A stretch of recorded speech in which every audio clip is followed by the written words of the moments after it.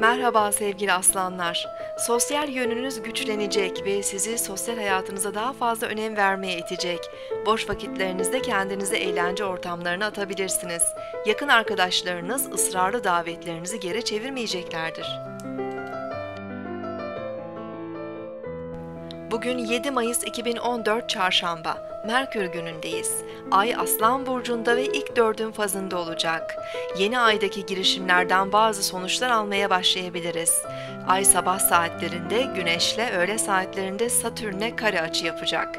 Bugün otorite konumundaki kişiler, üstlerimiz ve aile büyükleriyle olan ilişkiler daha fazla gündemde olabilir. Günlük işlerimizde bazı kısıtlamalarla karşılaşabiliriz. Bazı konularda engeller ortaya çıkabilir. Sorumluluklarımız ve görevlerimiz konusunda ciddi davranmalıyız. Karamsar ve sabit düşünceler ilişkilerimizi zorlayabilir. Aslan burcundaki ay 13.52'den itibaren boşlukta olacak.